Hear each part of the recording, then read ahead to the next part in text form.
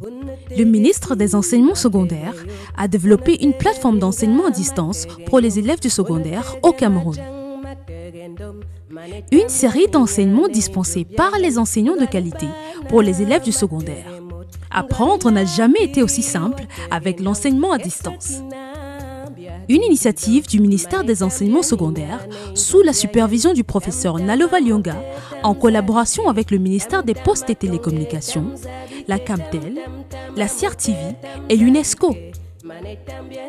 Nous introduisons l'enseignement à distance comme une autre méthode d'enseignement et d'apprentissage qui diffère du cadre de classe traditionnel auquel vous êtes habitué. Dans le mot d'enseignement à distance, vous n'êtes pas avec l'enseignant en personne, alors prenez votre temps, détendez-vous, écoutez l'enseignant, prenez des notes et visitez les liens suivants pour toute question ou réponse à vos préoccupations. Allez-y à votre rythme. La solution du Cameroun contre le Covid-19 est au-delà. Professeur Nalova Lyonga, ministre des Enseignements secondaires. Bienvenue à cette session d'apprentissage. Je suis Ngako Amel, enseignante d'informatique et votre tutrice pour la leçon du jour. Il s'agit de la douzième leçon de la classe de terminale. Nous allons débuter avec la correction du devoir laissé lors de la précédente session, dont l'énoncé vous est donc présenté à l'écran. Soit le schéma ci-dessous représentant la topologie mise en œuvre dans un secrétariat de votre quartier. Nous pouvons identifier la présence de quatre ordinateurs qui sont reliés à l'aide d'un équipement central et la présence d'un d'une imprimante. Première question, donnez la topologie physique de ce réseau tout en justifiant votre réponse. Deuxième question, donnez la topologie logique appropriée pour ce réseau. Troisième question, énumérez un avantage et un inconvénient de cette topologie physique. Nous allons donc procéder à la correction du devoir. Première question, la topologie mise en exergue. Nous avons vu dans la leçon précédente des différentes topologies réseau. Nous avons vu la topologie en étoile, la topologie tokenry, la topologie en maille. Alors, il s'agissait ici de quelle topologie? Nous dirons tout simplement qu'il s'agit de la topologie en étoile. Pourquoi? Tout simplement parce que les ordinateurs sont reliés à un équipement central. C'était l'une des caractéristiques même de la topologie en étoile. Bravo donc à ceux qui ont donné les bonnes réponses. Nous allons donc passer à la deuxième question. La topologie logique appropriée pour ce réseau en étoile, nous dirons qu'il s'agit de la topologie Ethernet. Nous avons vu plusieurs topologies logiques de réseau, notamment Tokenry, FDDI, etc. Mais ici, il s'agit de la topologie en la topologie Ethernet. Troisième question. Donnez donc les avantages et les inconvénients de la topologie en étoile. Si vous vous rappelez, dans la précédente leçon, nous avons donné comme avantage de la topologie en étoile, le fait que la panne d'un ordinateur n'affectait pas l'ensemble du réseau. Et nous dirons également que la rupture d'un câble ne paralyse pas aussi le réseau.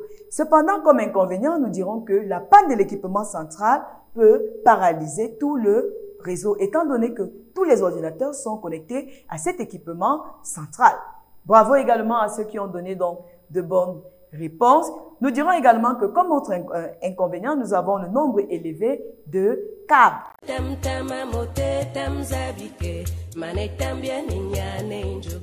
Nous allons donc passer à la leçon du jour. Il s'agit donc de la douzième leçon de votre programme intitulée Architecture réseau. Afin donc de mieux préparer cette leçon, nous avons préparé le plan ci-après. Nous allons débuter avec la présentation des prérequis. Nous allons vérifier un ensemble de connaissances nécessaires pour aborder cette leçon au niveau donc des prérequis. Puis, nous allons donc vous donner une, un problème en guise de situation problème avant de présenter les différents concepts qui vous aideront à résoudre cette situation problème et nous allons donc résoudre la situation problème proprement dite avant de vous donner un exercice pour consolider vos connaissances et vous donner un devoir pour préparer la leçon suivante. Nous allons donc débuter avec la présentation des objectifs de la leçon. À la fin de cette leçon, en utilisant les différentes ressources vues en cours, vous devez être capable, dans un premier temps, de définir le thème architecture réseau, puisque c'est même le titre de notre leçon. Vous devez également être capable de décrire les principales architectures réseau, notamment l'architecture peer-to-peer et l'architecture client-serveur. Pour mieux aborder dans la leçon du jour, vous devez déjà être capable d'énumérer trois topologies physiques de réseau, de décrire les topologies logiques Ethernet et Token Ring. Nous allons donc procéder à la vérification des prérequis avant de débuter avec la leçon du jour. Première question. Énumérez trois topologies physiques de réseau. Si vous vous rappelez donc, à la leçon 11, nous avons vu par exemple la topologie en bus, nous avons vu la topologie en étoile comme décrit lors de la résolution du devoir. Nous avons également vu la topologie en nano. Bravo donc à ceux qui ont donné des bonnes réponses. Deuxième question, toujours dans la vérification des prérequis, il s'agira ici pour vous de répondre par vrai ou faux. Nous avons donc un ensemble de propositions, un ensemble de quatre propositions. Première proposition, la topologie logique token ring est utilisée dans les topologies physiques en bus et en étoile. S'agit-il d'une proposition correcte? Deuxième proposition, la topologie Ethernet est utilisée dans les topologies réseau en étoile. Alors, nous allons corriger directement ces deux propositions. Comment Débutons donc avec la proposition A? La topologie token ring est utilisée dans les topologies physiques en bus et en étoile. S'agit-il d'une réponse, d'une proposition vraie ou fausse? Nous dirons qu'il ne s'agit pas d'une proposition correcte puisque nous avons dit que la topologie logique token ring était plutôt utilisée dans les topologies physiques en nano. À présent, passons donc à la proposition B. La topologie Ethernet est utilisée dans les réseaux en étoile. Vrai ou faux? Nous dirons que celle-ci, par contre, est correcte. Déjà, lors même de la résolution du devoir, nous avons dit que la topologie Ethernet était utilisée dans les réseaux en étoile. Bravo donc à ceux qui ont donné les bonnes réponses. Nous continuons avec la proposition C. La topologie token ring permet à deux ordinateurs d'émettre en même temps. Est-il possible avec la topologie token ring pour deux ordinateurs d'émettre en même temps? N'oubliez pas que quand deux ordinateurs émettent en même temps, on peut avoir un problème de collision. Proposition D, avec la topologie Ethernet, un ordinateur vérifie qu'aucun autre ne veut émettre avant d'émettre un signal. Débutons donc avec la correction. Proposition C. S'agit-il d'une proposition vraie ou fausse? Nous dirons que la topologie token ring ne permet pas à deux ordinateurs d'émettre en même temps. Un ordinateur émet uniquement quand il a l'anneau à jeton. Et nous dirons donc que cette proposition est fausse. Proposition D, la topologie Ethernet. Un ordinateur vérifie qu'aucun autre ne veut émettre avant d'émettre le signal. Là, il s'agit d'une proposition correcte. Bravo donc à ceux qui ont donné de bonnes réponses. Vous êtes donc parés pour aborder la leçon du jour. Nous allons donc vous proposer un problème en guise de situation problème. Observez attentivement l'image qui vous est proposée et suivez. Une entreprise dont de la place vous sollicite pour mettre en œuvre un réseau qui devra respecter un certain nombre de critères. Nous dirons que dans cette entreprise, nous avons une direction générale. Vous voyez un directeur assis là devant un ordinateur, nous avons un service de comptabilité, nous avons un service marketing qui possède donc des équipements informatiques, nous avons un service de vente. Vous devez donc mettre en œuvre un réseau qui va permettre à tous, ces, à tous les autres ordinateurs, notamment celui de la comptabilité, marketing et de vente, de conserver leurs informations dans la machine de la direction générale. Donc, l'ordinateur de la direction générale devra contenir toutes les ressources de l'entreprise. Et les autres ordinateurs peuvent, à un moment donné, demander une ressource se trouvant donc dans l'ordinateur général. En vous servant donc de vos connaissances, répondre aux questions suivantes. Première question, donnez le rôle que joue l'ordinateur central du directeur général. Nous avons dit que cet ordinateur devra contenir toutes les ressources. Alors, il va jouer quel rôle? Deuxième question, donnez le rôle que jouent les autres ordinateurs connectés, notamment les ordinateurs du service de comptabilité, de vente et du service de marketing. Quel est leur rôle? Troisième question, expliquez la relation qui existe entre l'ordinateur central de la direction générale et les ordinateurs connectés à lui. Quelle est la relation entre ces ordinateurs? Dernière question, proposez l'architecture la mieux adaptée pour cette entreprise et justifiez votre réponse. Donc, au vu de la description qui vous est donnée, vous devez proposer une architecture pour cette entreprise. Nous allons donc passer à la présentation des concepts qui vous aideront à mieux répondre aux différentes questions posées dans la situation problème. Le premier concept qu'il convient ici de présenter est celui de l'architecture réseau. C'est quoi l'architecture réseau? Vous avez déjà sans doute entendu parler du terme architecture, mais maintenant c'est quoi architecture réseau? Nous dirons tout simplement que une architecture réseau est un mode de communication des composants dans un réseau informatique. Une architecture réseau est un mode de communication des composants dans un réseau informatique. Elle définit donc la relation qui existe entre les différents composants du réseau. Et nous verrons que cette relation, il peut s'agir d'une relation d'égalité ou alors d'une relation de dominance. Et là, nous dirons que un ordinateur est dit égal à un autre ordinateur lorsqu'il gère ses propres ressources dans le réseau. C'est-à-dire, il n'a pas besoin d'un autre ordinateur pour avoir accès aux ressources. Donc, il possède déjà des ressources. Et ce type d'ordinateur sera donc appelé client. Cependant, un ordinateur est maintenant dit dominant lorsqu'il possède les ressources dont auront besoin les autres ordinateurs du réseau. Et là, cet ordinateur, à ce moment, sera considéré comme le serveur. Il va servir les autres ordinateurs et les autres seront comme des clients. Bien, nous sommes donc de clients et de serveurs. Après avoir donc défini la relation d'égalité et la relation de dominance qui peut exister entre les ordinateurs dans un réseau, nous allons nous donner une euh, une brève définition de la notion de client. C'est quoi un client? Un client, c'est tout simplement un dispositif matériel ou logiciel qui envoie des requêtes au serveur. Nous allons noter qu'une requête, c'est tout simplement un, question, un questionnement, une question envoyée au serveur. Et le serveur qui va donc recevoir donc cette question devra être capable de répondre. C'est pourquoi nous définirons donc un serveur comme étant un dispositif matériel ou logiciel qui répond aux requêtes des clients. Nous allons noter ici que quelquefois, nous avons l'habitude de dire qu'un serveur, c'est tout simplement un ordinateur. Nous notons ici qu'un serveur ou un client peut être un dispositif aussi bien matériel que logiciel. Vous pouvez installer un serveur dans votre ordinateur à la maison. Il peut s'agir d'un logiciel tout simplement. Bien, nous allons donc voir les types d'architecture réseau. Nous noterons ici qu'il existe deux principaux types d'architecture réseau. L'architecture client-client et l'architecture client-serveur. Vous allez voir ici, le terme serveur n'intervient pas dans le premier type d'architecture. Nous parlons tout simplement de client-client, tandis que dans l'autre, nous avons client-serveur. Nous allons donc décrire l'architecture client-client. L'architecture client-client est aussi appelée architecture égale à égale. Nous avons vu d'ailleurs qu'une relation égale à égale, c'est quand un ordinateur possède ses propres ressources.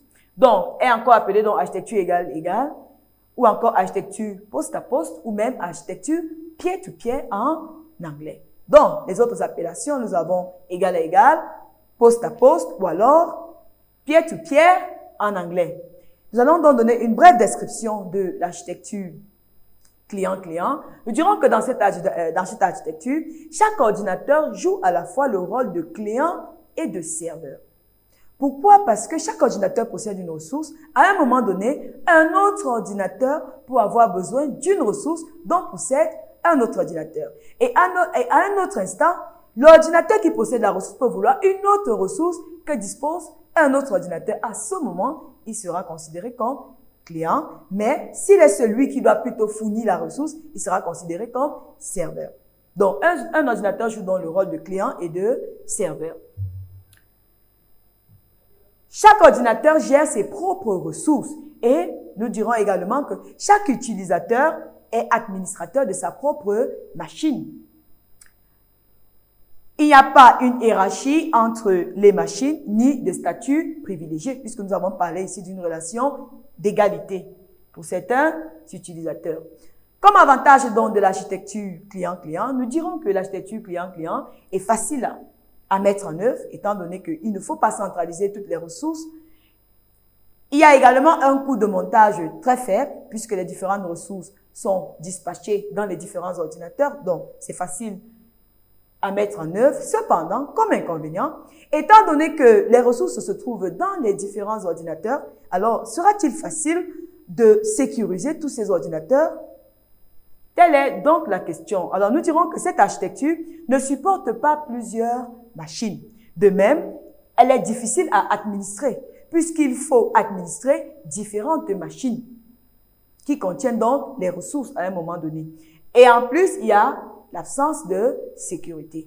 En fait, dans cette architecture, c'est pas qu'il y a une absence totale de sécurité, mais la sécurité des ordinateurs est un peu difficile à mettre en œuvre puisqu'il faut sécuriser tous les ordinateurs du réseau, puisque chacune d'elles contient une, contient une ressource dont peut avoir besoin un autre ordinateur à un moment donné. Nous allons donc décrire de manière schématique l'architecture client-client, encore appelée architecture égale à égale. Nous avons donc ici deux ordinateurs, ordinateur 1 et ordinateur 2. Chaque ordinateur ici possède sa propre ressource. Vous voyez, l'ordinateur 1 possède par exemple la ressource jaune. Notons ici que nous avons vu les ressources. Nous avons vu la notion de ressources dans, dans les leçons précédentes. Nous avons dit que les ressources, par exemple, peuvent être des logiciels, peuvent être des fichiers, etc., peuvent être des documents. Donc, chaque ordinateur ici possède donc sa propre ressource. À un moment donné, le premier ordinateur, bien que possédant sa ressource, peut vouloir envoyer une requête à l'autre ordinateur pour solliciter une ressource dont dispose cet autre ordinateur. Alors cet ordinateur va recevoir la requête et doit être donc capable de d'envoyer une réponse. À ce moment, le premier ordinateur va donc jouer le rôle de client et l'autre va jouer le rôle de serveur. Et le message envoyé est donc appelé requête et le deuxième ordinateur va répondre. Cependant, à un autre moment, le deuxième ordinateur maintenant peut solliciter une ressource dont dispose l'ordinateur 1. À ce moment, cet ordinateur sera considéré comme étant le serveur, comme étant le client autant pour moi. Et, le deuxième ordinateur va donc tout simplement répondre à la requête et là, il sera considéré comme serveur. Alors, ce qu'on observe ici, c'est que chaque ordinateur, à un moment donné, peut jouer le rôle de client ou à un autre moment, celui de serveur. C'est pourquoi nous avons dit qu'il s'agit d'une architecture où chaque ordinateur peut jouer à la fois le rôle de client et celui de serveur. Nous allons donc passer à l'architecture suivante. Rappelez-vous, nous avons dit qu'il existe deux principaux types d'architecture, client-client, que nous avons déjà décrit, et ensuite client-serveur. Décrivons donc l'architecture client-serveur. Observez le schéma présenté. Vous allez voir qu'ici, nous avons un serveur, une machine dédiée ici qui est considérée comme le serveur principal, et nous avons plusieurs clients. Contrairement à l'architecture pied-to-pied ou encore égal à égal, les, les différentes ressources se situent au niveau du serveur. Les ordinateurs clients ne possèdent pas les ressources. Donc, à un moment donné, les ordinateurs clients peuvent donc envoyer des requêtes vers le serveur qui doit donc traiter ces requêtes et être capable donc d'envoyer des requêtes vers les autres ordinateurs considérés comme étant des clients. Donc ici, l'ordinateur serveur est bien défini, les autres ordinateurs sont donc clients. Et là, on parle donc de l'architecture client-serveur. Donc, le serveur possède la ressource, les autres ordinateurs peuvent simplement solliciter la ressource possédée par le serveur. Ça va donner donc les avantages et les inconvénients de ce type d'architecture.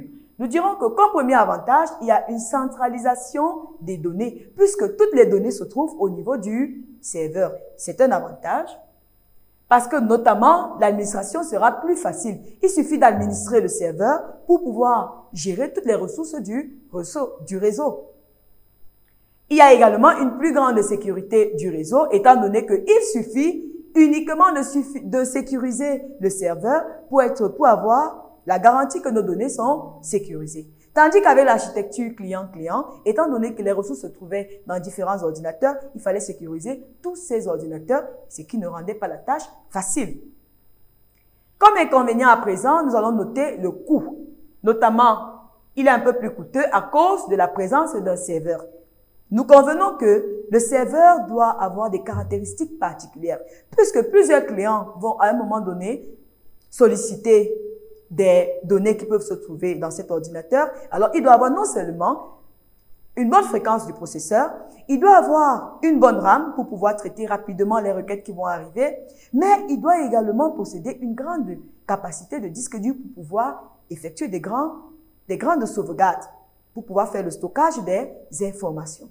Donc, il est donc plus coûteux pour cela. Et nous dirons que, étant donné que toutes les données sont centralisées au niveau du serveur, le risque c'est que si ce serveur-là tombe en panne, alors nous allons perdre toutes nos données. Voilà aussi un autre inconvénient de cette architecture. Les différents types d'architecture client-serveur, nous dirons qu'en fonction du nombre et de la nature des serveurs, nous distinguons l'architecture 1 tiers, l'architecture 2 tiers, l'architecture 3 tiers et même l'architecture N tiers. Nous allons décrire uniquement les trois premières architectures, notamment l'architecture 1 tiers, 2 tiers et 3 tiers. Débutons donc avec la présentation de l'architecture 1 tiers. Nous parlons ici de l'architecture 1 tiers parce que les serveurs de fichiers et les ordinateurs clients sont situés dans un même ensemble. C'est pourquoi on parle d'un seul tiers. Cependant, dans l'architecture 2 tiers, nous avons deux tiers, c'est-à-dire le tiers client et le tiers base de données. Le tiers client est, constitué dans des ordinateurs clients et le tiers base de données est constitué d'un serveur de base de données. Donc nous avons donc deux tiers, le tiers client et le tiers base de données.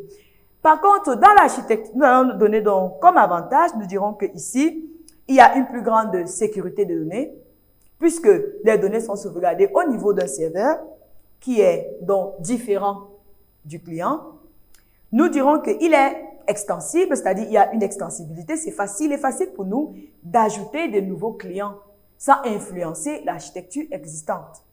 De même, il est facile à réutiliser. Passons à présent à l'architecture 3 tiers. Nous avons vu dans l'architecture 1 tiers que nous avons un seul ensemble. Dans l'architecture 2 tiers, nous avons le tiers, nous avions le tiers client et le tiers base de données. Donc, dans l'architecture 2 tiers, nous avons à présent les ordinateurs clients et deux serveurs. Nous avons les ordinateurs clients, nous avons un serveur d'application et nous avons un serveur de base de données. Donc, nous dirons donc que ici, nous avons donc le tiers client, le tiers application, constitué donc du serveur d'application, et enfin le tiers base de données. C'est pourquoi nous parlons de trois tiers. Comme avantage donc, nous dirons qu'il y a une sécurité plus élevée, notamment à cause de la séparation des serveurs. Nous voyons qu'ici, au lieu d'avoir un seul serveur qui contient donc toutes les données, nous avons deux serveurs différents. Donc, si l'un des serveurs tombe en panne, l'autre peut prendre le relais. Il est également extensible, tout comme avec l'architecture de tiers, puisque il sera possible pour nous d'ajouter des ordinateurs clients sans influencer l'architecture existante. De même, il y a la présence de plusieurs serveurs, ce qui fait que si un serveur tombe en panne, notre architecture ne sera pas complètement détruite. Et il est aussi réutilisable, tout comme l'architecture de tiers. Bravo donc à ceux qui ont suivi attentivement les différents concepts abordés dans cette leçon. Nous allons donc procéder à la résolution de la situation problème. Nous espérons que les concepts vus vous aideront véritablement à résoudre cette situation problème. Nous allons donc rappeler l'énoncé de la situation problème. Donc, une entreprise de la place vous a donc sollicité pour mettre en œuvre une architecture qui pourra permettre de gérer ces différents services. L'entreprise sollicite que tous les autres services, notamment le service de comptabilité, de marketing, de vente, puissent stocker toutes leurs données au niveau de la direction centrale qui possède donc un ordinateur. En vous servant dans des questions vues, en vous servant de, de vos connaissances, répondre donc aux questions suivantes. La première question était, donnez le rôle que joue l'ordinateur central du directeur général. Deuxième question, donnez le rôle que jouent les autres ordinateurs connectés. Répondez si vous n'avez pas déjà fait. Troisième question, expliquez la relation qui existe entre l'ordinateur central et les autres ordinateurs connectés à lui. Enfin, dernière question, proposez l'architecture la mieux adaptée pour cette entreprise et justifiez votre réponse. Nous allons donc passer donc à la solution Première question, Il s'agissait pour nous ici de donner le rôle de l'ordinateur de la direction centrale. Rappelons que cet ordinateur devait contenir toutes les données dont toutes les autres machines devaient sauvegarder leurs données au niveau de la direction centrale. Donc, nous dirons que là, il s'agit donc à ce niveau d'un serveur. Donc, cet ordinateur va jouer le rôle de serveur. Bravo donc à ceux qui ont donné la bonne réponse. Passons donc à la deuxième question. Rôle que jouent les autres ordinateurs connectés. Étant donné que les autres ordinateurs présents dans les autres services, notamment de comptabilité, marketing et vente, vont solliciter des ressources présentes dans l'ordinateur central, notamment l'ordinateur serveur, nous dirons que ces ordinateurs seront donc considérés comme des clients. Bravo également à ceux qui ont donné les bonnes réponses. Passons donc à la troisième question. Quelle est donc la relation qui existe entre l'ordinateur central et les autres ordinateurs connectés à lui Nous dirons que là, il s'agit d'une relation de client et celui de serveur. Il ne s'agit pas d'une relation d'égalité. Rappelez-vous que nous avons dit que nous pouvons avoir une relation d'égalité ou alors une relation de dominance. Étant donné que la direction générale centralise tout, nous dirons que là, il s'agit d'une relation de client et de serveur. Bravo donc à ceux qui ont donné les bonnes réponses. Dernière question. Décris l'architecture la mieux adaptée pour cette entreprise et justifiez votre réponse. Alors nous dirons que là, la meilleure architecture, c'est l'architecture client-serveur, puisque l'architecture peer-to-peer nécessiterait une sauvegarde des données dans les différents services. Donc, ici, il s'agit plutôt de l'architecture client-serveur. Bravo donc à ceux qui ont donné la bonne réponse. Et plus précisément, il s'agit de l'architecture trois tiers. Nous avons donné l'avantage de l'architecture trois tiers. Nous avons vu que avec la séparation des serveurs, notamment la présence d'un serveur d'application et d'un serveur de base de données, la sécurité était beaucoup plus garantie et même l'architecture était beaucoup plus fiable car la panne d'un serveur ne devait pas paralyser toute notre architecture. Donc, nous allons donc proposer pour cette entreprise l'architecture trois tiers.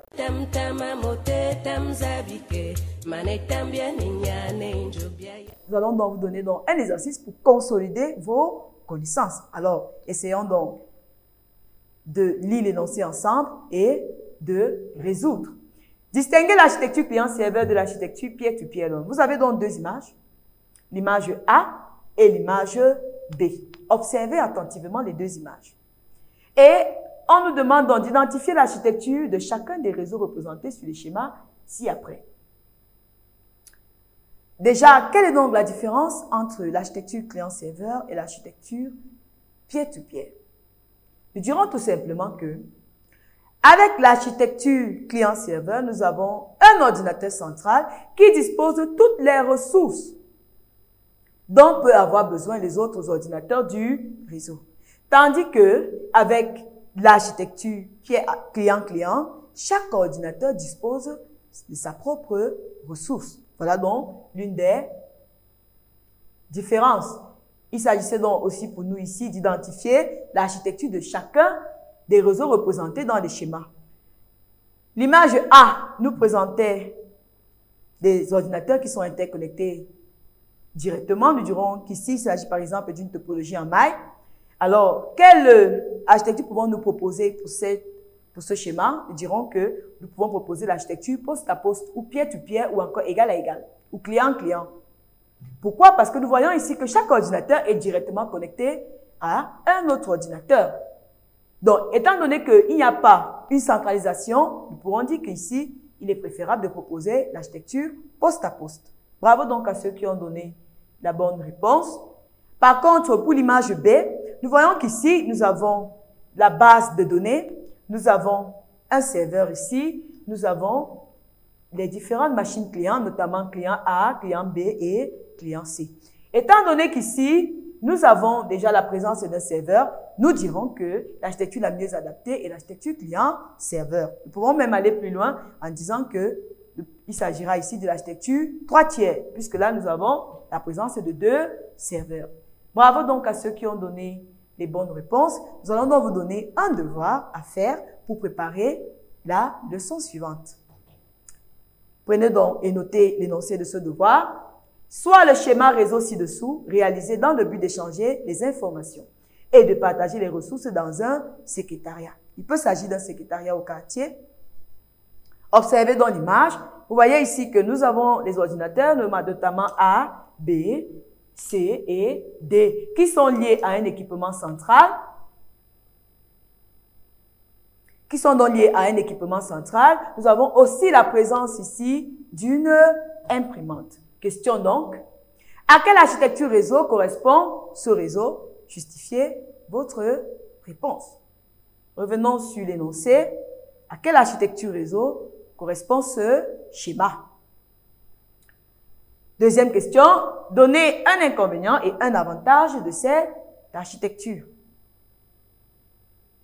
Nous avons donc réalisé cette leçon en utilisant les livres ci-après. Nous avons utilisé le livre Cours Réseau et Télécom de Guy Puyol, édition Erol. Nous avons également utilisé le livre intitulé Les réseaux de Guy Puyol également et le livre Initiation au réseau de Guy Puyol. Toutes les images sont tirées du site Free Photo. Nous avons essayé donc de concevoir certaines images nous-mêmes. Nous sommes donc arrivés au terme de cette leçon et la prochaine leçon portera donc sur les supports de réseau, les supports de transmission et équipement réseau. À bientôt pour la prochaine leçon. Unategesi matege yop, unatege minga matege nyum, unatege majang matege ndom, manetambia ninyane injobia yen, ngani bana matege mot, ngani lakiri watege ndong, esakina bia dinkido, manetambia ninyane tam tama mote tam zabike, Tam tama tonge tam zabike tam tam tama mote tam zabike mane tambia ninyane injobia yen